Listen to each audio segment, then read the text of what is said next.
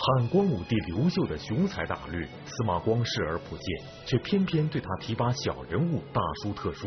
司马光为什么要这样处理呢？敬请关注江鹏品读《资治通鉴》之司马光的另类史记。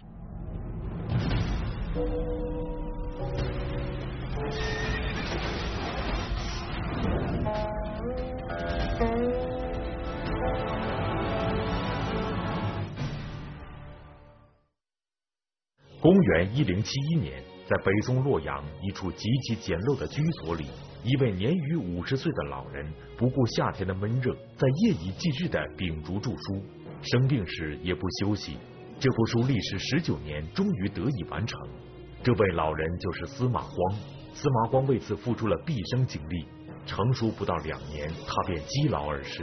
而他潜心编著的，就是流传后世、至今仍有巨大影响的编年体史书《资治通鉴》。那么，耗尽司马光毕生心血的《资治通鉴》，到底是一部怎样的著作呢？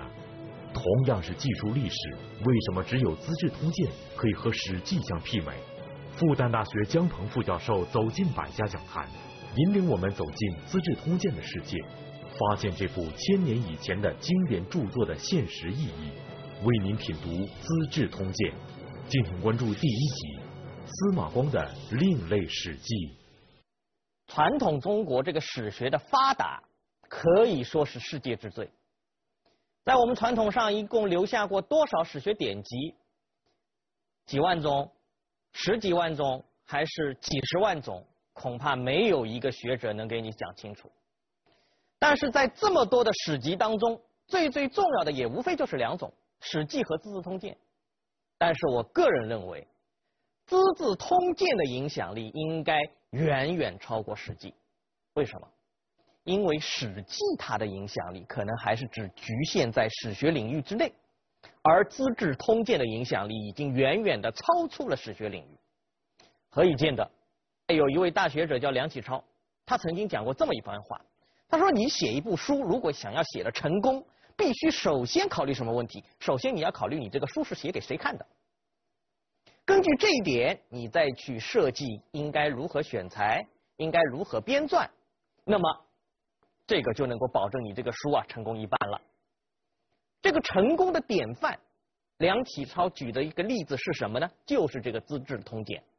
《资治通鉴》它从一开始所设计的这个读者群，应该来说是非常非常特殊的。那这个书它是写给谁看的呢？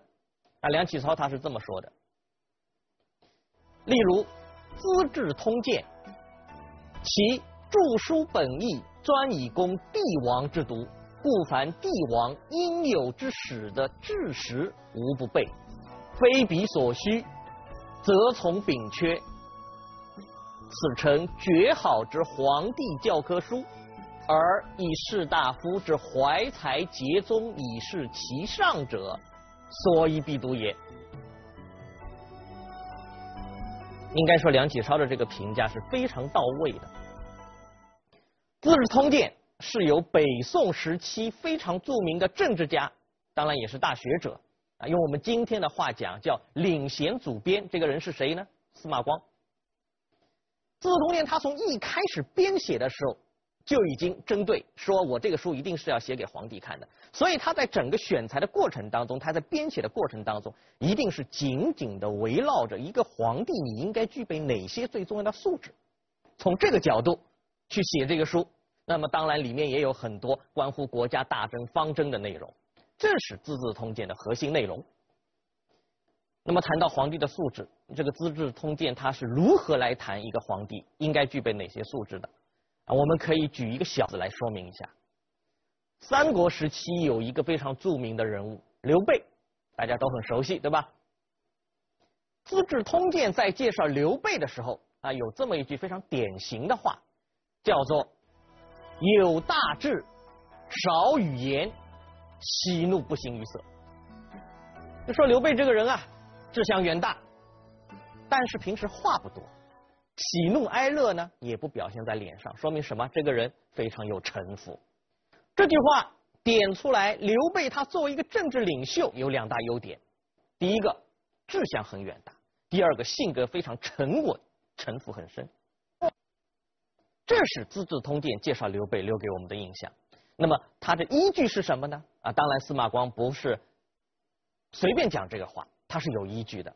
这个依据就是记载三国历史最最权威的著作《三国志》。但是我们要把《三国志》里面关于刘备的介绍读完了，再来比较一下《资治通鉴》，你会发现这当中还是有很大区别的。哎，我们把《三国志》翻出来，你看看啊，《三国志》里面是怎么讲刘备的？《三国志》里面说：“先主不甚热读书，喜狗马，音乐美衣服，少语言，善下人，喜怒不形于色。”这么一对比，我们就发现。《资治通鉴》介绍刘备，其实是取了《三国志》的后半句，少语言，喜怒不形于色，再加上有大志这么一点。而《三国志》里面所展现的刘备另一面呢，啊，这个不胜乐读书，喜狗马，音乐美衣服，不喜欢读书，喜欢声色犬马，被司马光给删掉了。司马光为什么要这么处理？我们说历史上有很多成功人物，这些历史人物。肯定有很多常人所不及的优点，那么当然同时也会有一些瑕疵，有一些缺点，难免。刘备这样一个人物，他具备一种超乎常人的个人能力，所以呢，这个人他不喜欢读书啊，这个喜欢声色犬马，最后还能够取得一定非常可观的成绩。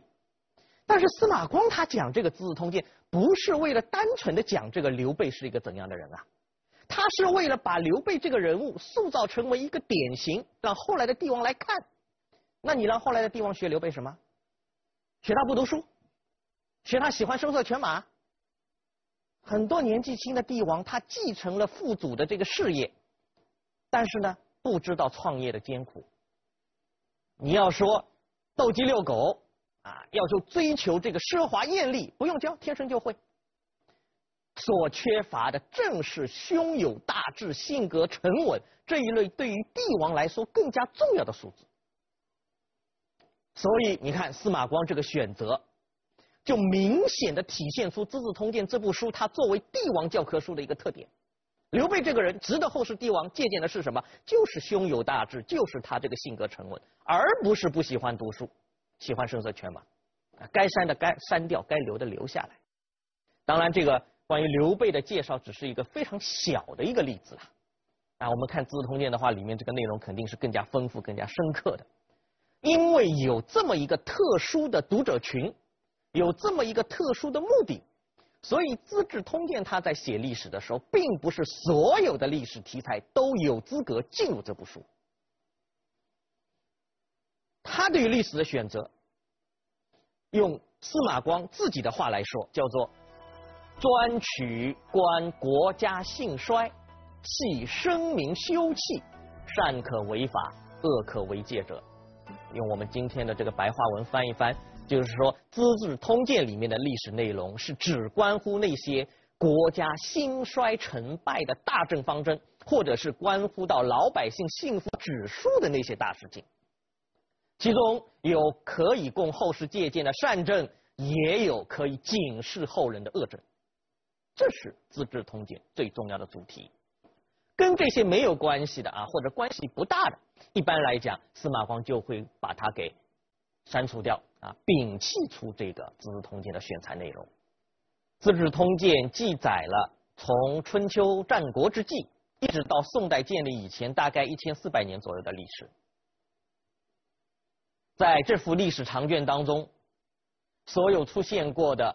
帝王啊，或者其他重要的政治人物啊，或者一些重要的王朝和重要的割据势力，他们的兴衰成败都一一的展现出来。《资治通鉴》当中一共记载过多少皇帝呢？啊，我们粗摸的估算一下，从秦始皇统一中国，一直到这个宋代建立之前，各个王朝正式的皇帝，再加上重要割据政权的政治领袖，加在一起，我大概粗粗的算了一下，大概是两百五十个左右。这些政治领袖或者说这些帝王啊，我们可以对他进行一些简单的分类。一个最简单的方法，两分法啊，你把所有的这个帝王和政治领袖分成两类。首先第一类啊，我们可以称之为开国型的君主，通过自己的努力创建一个王朝，这样的君主，这样的皇帝，开国型的皇帝啊，这是一类。还有一类是通过血缘关系来继承皇位啊，做做到皇帝的这样的一种人，我们可以称之为继承型帝王。那么在这两个基本类型下面，我们还可以再细分，比如说，在这个开国型的皇帝当中，我们还可以再对他进行细化的分类。这个皇帝啊，这个通过战争或者其他的手段把一个王朝建立起来了。那王朝建立之后，他必然面临一个什么问题？面临一个转型的问题。你这个开国君主啊，必须要慢慢的转向治理型的君主啊，你要开始建设国家、建设社会，进入一个和平建设期。这跟之前啊这个战争年代在创建王朝过程当中，你要所具备的能力跟所做的事情是不一样的。那么在这样一个转型过程当中，既有转型成功的帝王，也有转型失败的帝王。对于这样不同类型的皇帝，《资治通鉴》当中都会予以一个非常独特的角度进行述评、进行解析。酒鬼香泉酒提示您：精彩继续。《资治通鉴》记载了东汉的第一个皇帝刘秀，可是却选了一个很小的事情大书特书。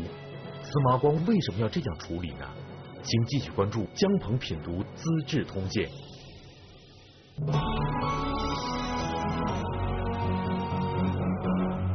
同样是史书，同样是记述历史，因为目的不同，因此所选择的角度也就会不同。《资治通鉴》可以说给我们写了一个另类的历史。比如东汉的开国皇帝刘秀，应该也称得上是一位雄才大略的有为帝王。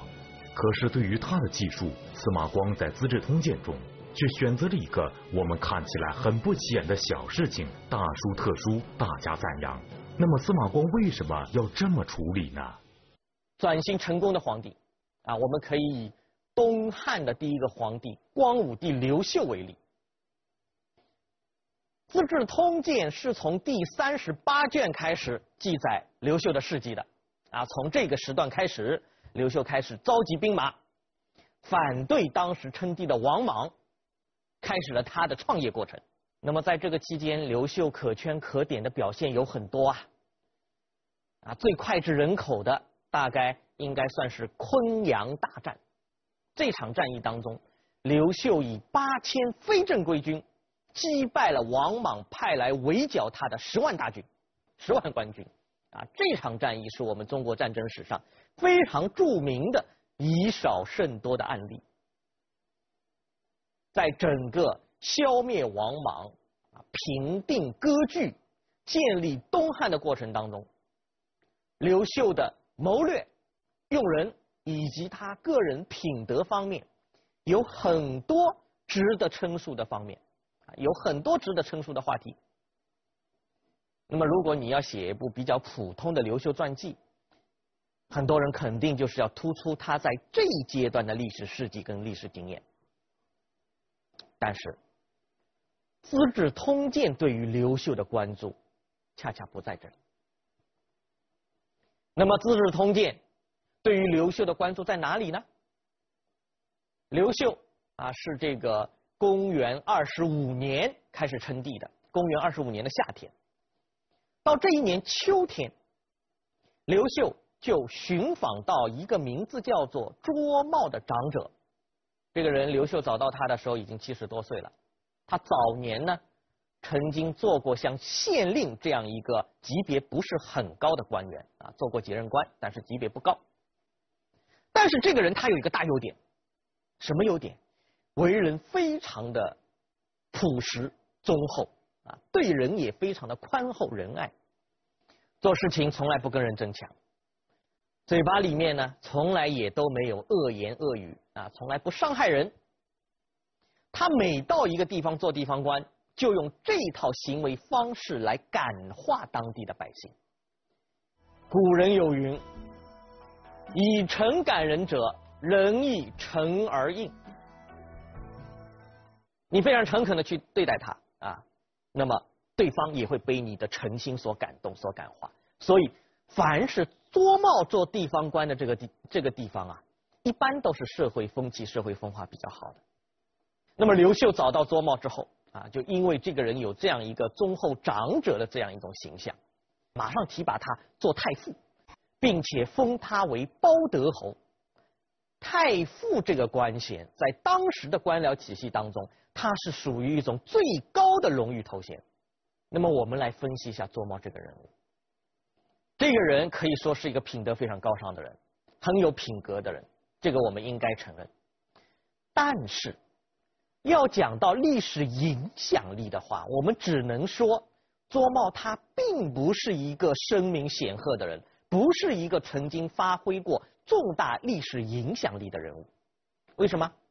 因为我之前说过，卓茂他做过几任官，但是呢，只是限于像县令这个级别的低级官员。他的影响力能够波及到哪里呢？能够波及到那些跟他直接有接触的啊，对他熟悉的人。这个间接的影响力可以散扩到他管理过的这个地区、这个地方。啊，所以无论他的这个品格如何高尚，治理地方的成绩如何优秀，跟刘秀整个消灭王莽、建立东汉这么大的历史局面比起来，这只是一个小人物，是一个小事件。比他重要的人多的是，比他重要的事情也多的是。但是刘秀，你看，一知道有周茂这个人之后，马上去寻访他，马上提拔他。这个固然告诉我们，刘秀这个人是非常重视道德教化的。但是我们如果看待刘秀的一生，对于一般的一个历史爱好者啊，一般的一个读者，你不会把这件事情作为刘秀一生当中最重要的事情来突出。但是司马光他显然不是一个一般人，司马光不仅认为这是刘秀一生当中最值得关注的事件之一。而且他把这件事情啊拔高到一个和东汉整个长治久安相联系的这么一个高度。关于刘秀提拔卓茂，司马光在《资治通鉴》当中有这么一段评论，他说：“光武继位之初，群雄竞逐，四海鼎沸，比崔坚陷敌之人，权略诡辩之事，方见重于世。”而独能取忠厚之臣，其经寻良之力，拔于草莱之中，置诸群公之手，以其光复旧物，享作久长，盖由知所先物而得其本源故也。诚如司马光所说，刘秀刚刚称帝的时候，天下还不太平，国家也还没有统一。还有很多对皇位虎视眈眈的割据势力存在，在这样的一种形势下面，哪些人比较吃香啊？哪些人才比较吃香？显然是那种敢于冲锋陷阵的勇士，或者懂得权变机略的谋士。卓茂他既不是勇士，也不是谋士，在残酷的战争当中，卓茂的忠厚他是没有价值的。啊，或者说是体现不出价值的。但是，战争总是要结束的，国家总是要转向和平建设。如果你能认识到这一点，就能够认识到卓茂的价值。卓茂他最擅长的是什么？最擅长的就是用一个温和的方式把老百姓给管理好。所以在战争还如火如荼的年代。刘秀就开始去积极寻访这些忠厚长者，找到了卓茂这个人，提拔他，把他放到一个非常高的位置。这是刘秀为向这个国家从战争向和平建设过渡而未雨绸缪，这是刘秀的眼光。但是，一般人不会把刘秀做过的这件事情啊看作是他一生当中最重要的事情。把这个事情拔到这么高的一个高度，跟东汉的长治久安联系在一起，这是司马光的眼光。司马光通过刘秀这件事情，就是要告诉后来的帝王：你作为一个想要成功治理国家的皇帝来说，什么样的素质最重要？重视这样的寻良之力，重视这样的忠厚长者，这是非常重要的。啊，一个开国皇帝，你如果要成功转转型成一个治理国家的皇帝，那么这个素质它是必备的，你必须要认识到这样的一种价值。请大家注意啊，从刘秀出现在《资治通鉴》之中以来，对于提拔卓茂这件事情，司马光啊对这件事情的评论，他是第一次对刘秀的行为做了一个正面的评论。在此之前，刘秀整个消灭王莽、建立东汉的过程，《资治通鉴》当然也是详略有度的记载了。期间可以说是名将数十倍，大小百余战，这些在一个普通读者眼里都是属于惊心动魄的历史事件。但是对于这些历史事件，司马光全都不占一词，等闲看过，没有发过一句话的评论，把他对刘秀的第一个评论。放在他提拔卓茂这件事情上，可想而知司马光对这件事情有多重视。酒鬼香泉酒提示您：精彩继续。梁武帝一个被活活饿死的皇帝，可是司马光竟然说他不得善终是咎由自取。司马光为什么会这么不客气，甚至有些刻薄呢？请继续关注江鹏品读《资治通鉴》。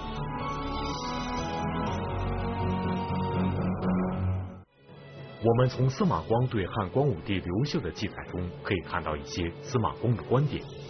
对于一个成功的帝王，他关注的不是他的丰功伟绩，更多的是他在治理国家方面所做出的努力。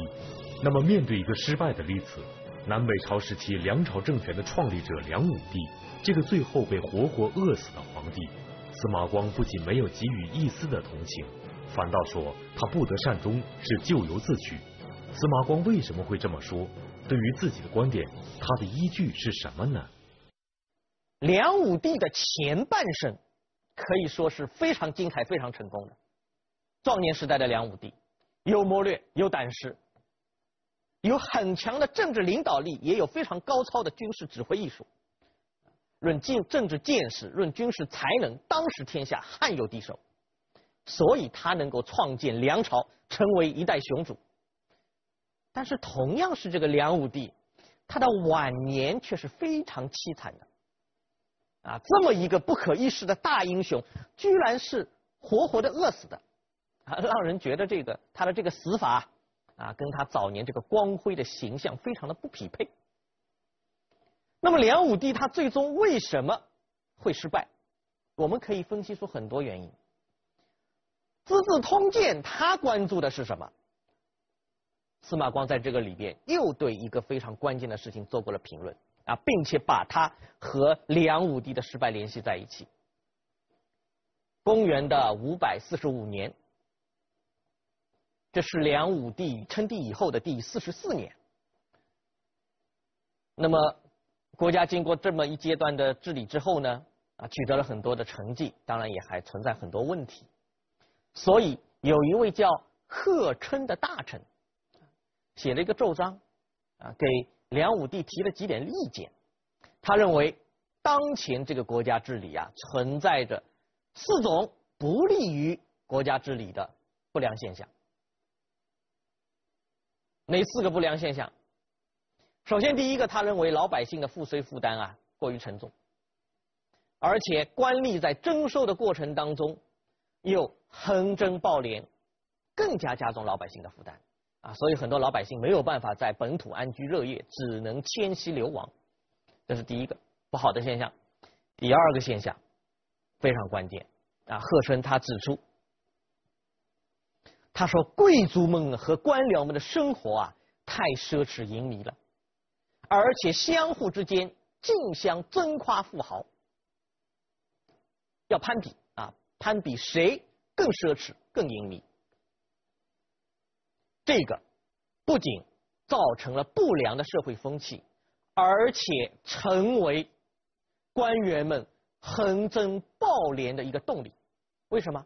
他们需要大量的财富来支撑他们奢华的生活啊！啊，课称啊，形容当时官员们在宴会时候的这种奢侈浪费的情形啊，他说：“积果如丘陵，列肴同蚁秀。”露台之产不周一宴之资，而宾主之间采取满腹，未及下堂，以同秀服。每次宴会陈列大量的美食佳肴，整个价值甚至可以说是一次宴会的费用会超过十户中产人家的资产，这个价值之大可想而知。但是每个人只也就只有一个肚子啊，你能吃东西能吃多少呢？啊，所以这样的铺张浪费，它必然造成大量的食物腐坏，大量的浪费。那么除了吃之外，啊，很多官僚还要蓄养妓女，啊，蓄养义夫，这都得花钱呢。钱从哪儿来？啊，没地方来，就只能从对老百姓的横征暴敛上来。所以贺琛他跟梁武帝说啊，应该倡导节俭。不仅仅是为了扭转社会风气，也是为了堵塞官员横征暴敛的源头。啊，这是第二点。第三点，贺琛认为梁武帝用了一些不识治国大体的小人。啊，这些人不识大体，但是呢，只懂得舞文弄墨，啊，只懂得吹毛求疵，而且仗着梁武帝对他们的信任，作威作福，追逐权势，啊，用了这么一批人。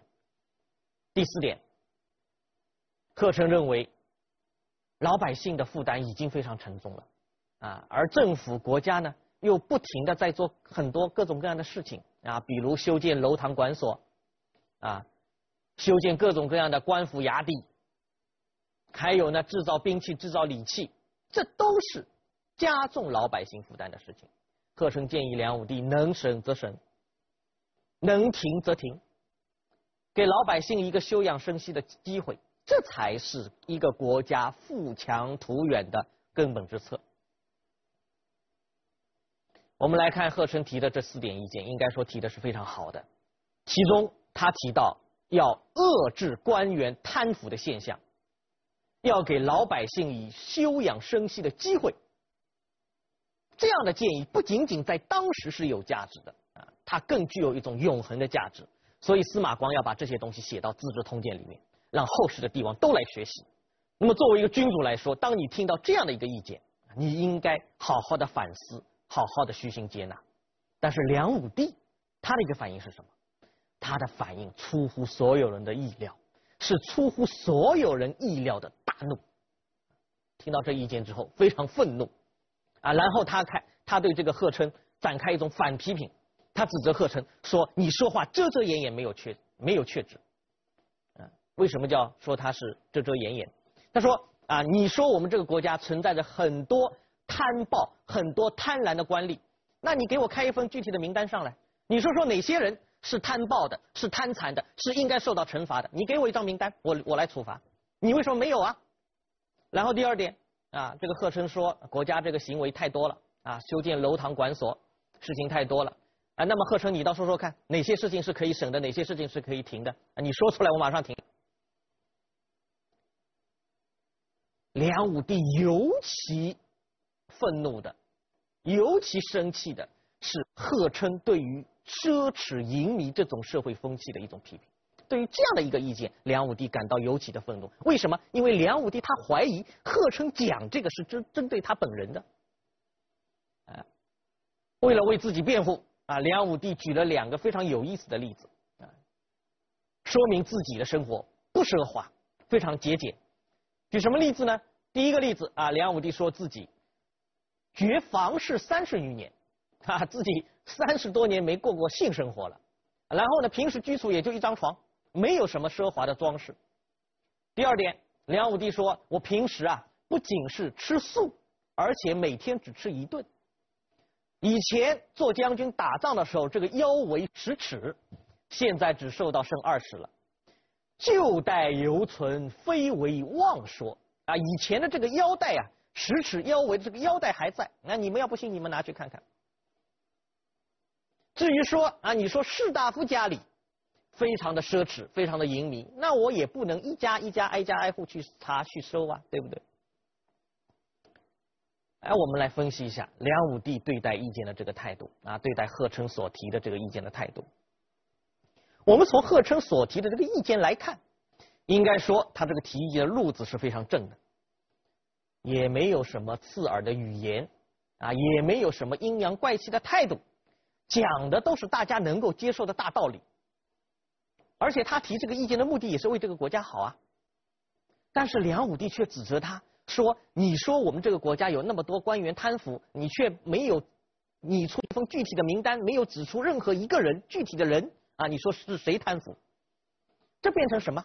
贺春他不是写实名举报信啊，他从一个高屋建瓴，从一个宏观的角度指出我们这个国家有问题，我们应该引起深刻的警惕，应该好好的反思。这是给国家提一个大方向。至于说你具体的应该如何去制定纲领，如何落实，应该由朝廷主持，有具体的这个有关部门去负责。你不能让一个提意见的大臣啊，一个从宏观层面来提意见，给国家这个大政方针提意见的这个大臣，他的这个这个奏章变成一封实名举报信，这不对啊。梁武帝没有搞清楚这一点，更加糟糕的是他对待贺春提意见、对待意见的这种态度。一一有人提意见，就勃然大怒。如果说作为一个帝王，你连这点心胸都没有，这个治理国家的成效是可想而知的。作为一个帝王，你碰到有提意见的人，哪怕这个意见提的不对，或者提意见的人有所偏激，你也应该敞开胸怀跟他去沟通，而不是说把这个提意见的门给你堵住。司马光啊，在《资治通鉴》里面对这件事情做了一个非常深刻的评论。这个评论当中的第一句话，可以说就是给后世那些不愿意听意见的皇帝当头一棒。啊，这第一句话怎么讲？他说：“梁高祖之不忠也，宜哉！”这里的梁高祖指的就是这个梁武帝啊，同一个人。哎，我前面说梁武帝他怎么死的啊？这么一个大英雄，最后居然是活活饿死的。司马光说：“梁武帝这个人不得令宗，用我们老百姓的话讲啊，讲的难听一点，叫做不得好死。他是有道理的，宜哉啊，他是有道理的。什么道理？”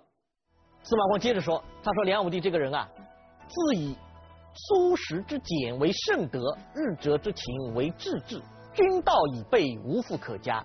由是奸佞居前而不见，大谋颠错而不知。”梁武帝认为，作为一个皇帝，最重要的是什么啊？就他认为自己平时比较节俭，吃点素食，这就是一个皇帝最重要的品德了。啊，做到这一点，他认为自己作为一个君主的品德已经具备了。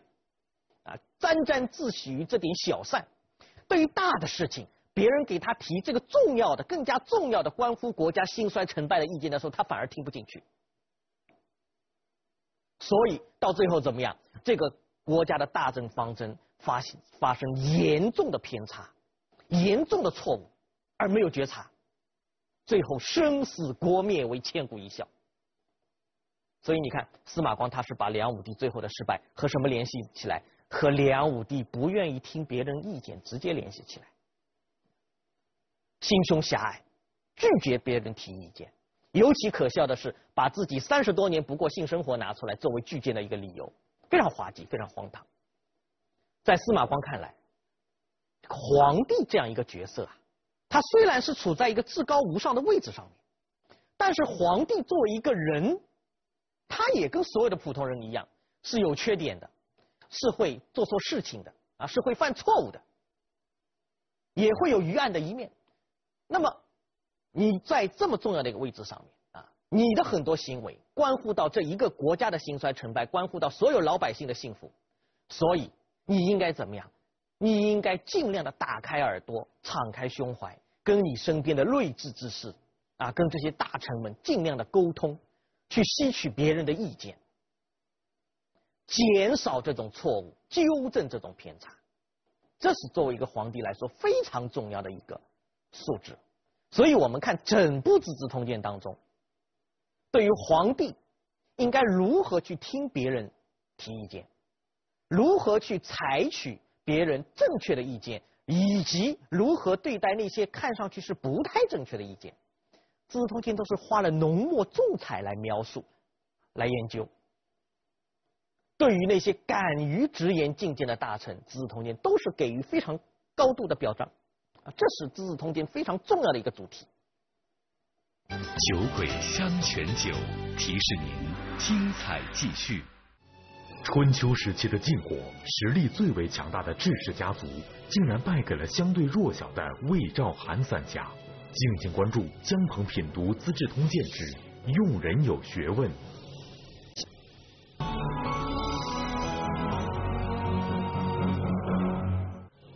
我们纵观梁武帝的一生，可以说还是有很多值得肯定的事情的，比如他即位之初的勤政、广泛的纳谏、他的节俭等等。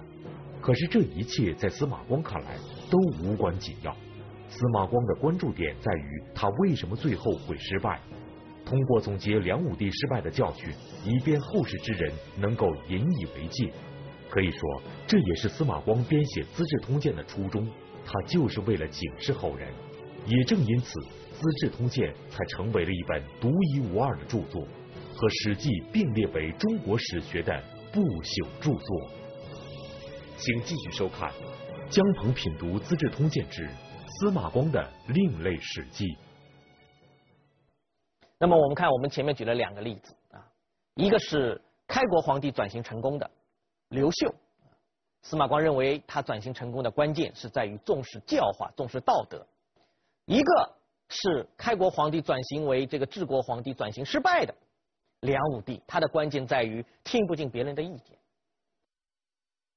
那么这两个例子跟整部《资治通鉴》比起来啊啊，当然只是九牛一毛啊，《资治通鉴》里面这个内容应该是更为丰富的啊，也是更为深刻的。就像宋末元初有一位研究《资治通鉴》的非常著名的学者叫胡三省啊，他曾经说过这么一句话：“读者如硬河之鼠，各充其量而已。”他把《资治通鉴》。比作是奔腾不息的黄河大江，当然这个里面水量是非常充足的啊，《资治通鉴》里面的知识量啊也是像黄河大江一样非常的充足。那么这个读者呢，这个读者啊就像渴了的小老鼠啊，你去吸那么一两口你就足够了啊，就非常充足了啊。他打了这么一个比方，我们今天。处于一个全新的时代啊，当然我们这个时代是没有皇帝啦，也没有士大夫了。但是，在任何一个时代，社会的管理总是一个非常复杂的问题。对于今天来说，《资治通鉴》有没有价值？仍然是有价值的。我们可以从中提炼出、抽绎出很多啊非常有价值的你这个管理国家。